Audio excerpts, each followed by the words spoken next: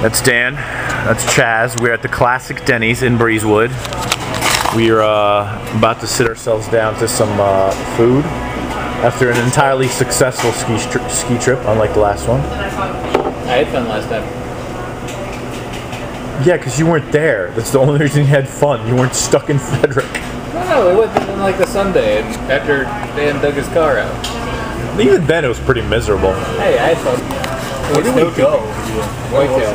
Oh, yeah. I went snow tubing. I like the snow tubing. And I won my game against TK in fantasy, but then lost the championship. It's a route.